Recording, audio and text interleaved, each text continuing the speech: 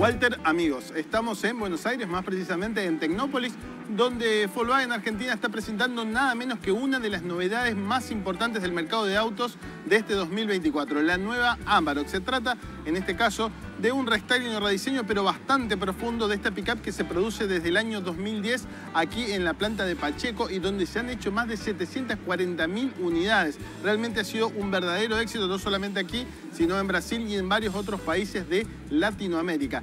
¿Cuáles son las novedades de esta, de esta Amarok 2024? Bueno, la principal, por supuesto, es este frontal que están viendo y que, por cierto, le queda bastante bien. Hay que verlo en vivo porque realmente sorprende.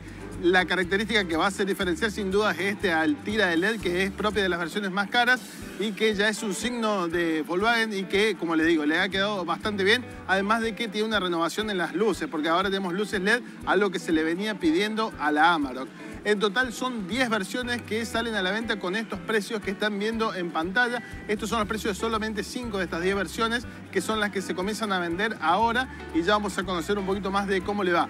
Además de esto, no hay novedades mecánicas, sigue eh, los mismos motores, 2 litros de 140 caballos, 2 litros turbodiesel de 180 caballos y 3 litros V6, el famoso motor V6 de 256 caballos que tantos éxitos le ha dado a Volkswagen. Bueno, por supuesto continúa y las mismas cajas, la misma tracción, todo eso no ha cambiado. En el interior sí hay algunas novedades, la pantalla ha cambiado, es una pantalla un poquito más grande de 9 pulgadas. También ha agregado algunas asistencias a la conducción como alerta de cambio de carril y eh, también alerta de colisión frontal, además lee los carteles de velocidad máxima, ese tipo de cosas.